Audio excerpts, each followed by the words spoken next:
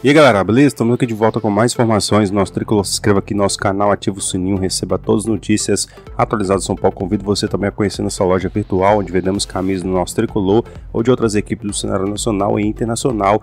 Você também pode personalizar com o nome e número da forma que você quiser, com pets da Libertadores, do Brasileirão, da Copa do Brasil. Então tem muitas sugestões e para você personalizar uma camisa do nosso tricolor de qualquer outra equipe do cenário nacional e internacional. Lembrando que o frete é grátis e para todo o Brasil. Enviamos também para vários países pelo mundo. É só você consultar nas redes sociais a possibilidade de envio. Então, galera, o link está aí na descrição do vídeo.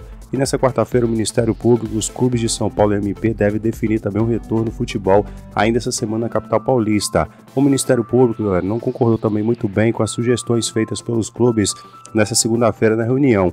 E com isso também de, depende da MP para liberar também o retorno das atividades. Uma nova reunião também foi agendada para essa próxima quarta-feira, onde vai ser definido o retorno do Paulistão. Caso né, galera, também seja aprovado esse retorno, teremos jogos a cada dois dias para as datas também das finais ser cumpridas do Paulistão. E ainda nessa terça-feira, a diretoria do São Paulo deve quitar o direito de imagem dos jogadores que está atrasado de 2020. O tricolor ainda não quitou esses valores porque depende também das notas que ainda não tinham chegado para quitar esses atrasos. Belmonte afirmou ainda nesse final de semana que no início dessa semana o tricolor selaria o acordo galera, com os jogadores.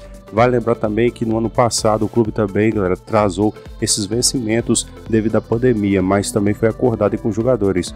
Com isso, galera, nosso tricolor vem tentando melhorar a saúde financeira do clube e também galera, se livrar de jogadores que não estão agregando é, diretamente o elenco do nosso tricolor. Com isso, também Trellis, Juan Fran e Tietê foram liberados e negociados com outras equipes, no caso também Juan Fran encerrou seu contrato com a equipe nosso tricolor e não teve uma renovação de contrato. E como todo já sabe, galera, nosso tricolor emprestou o volante Tietchan à equipe do Galo. No acordo, o São Paulo também vai receber 500 mil reais pelo empréstimo de Tietchan assim que ele atuar em 25 partidas oficiais. O acordo vai até maio de 2022. Tem ainda, galera, um passe fixado de 3,5 milhões de euros, algo em torno de 24 milhões de reais. O jogador permanece por lá por 14 meses na equipe mineira. E o volante William também já foi regularizado no bid da CBF já pode estrear com a camisa do nosso tricolor assim que o futebol retornar. O São Paulo, galera, tem ainda o meio Benítez para ser apresentado. Essa semana também faz quase um mês também que o jogador já está no CT do nosso tricolor. O São Paulo galera, já enviou também as documentações do atleta para a CBF e assim pode anunciar de forma oficial a sua contratação. E acredite ou não, mas nessa terça-feira, Gonzalo Carneiro assinará com a Juventus da Itália. O contrato de Carneiro se encerrou com a equipe do São Paulo nessa última quarta-feira e com isso chega sem custos à velha senhora.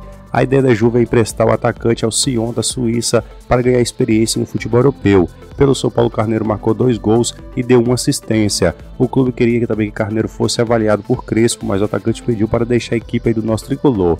E segundo o jornalista da TNT Esporte, que é antigo esporte interativo, o São Paulo e o Grêmio procurou também o volante Jair do Galo.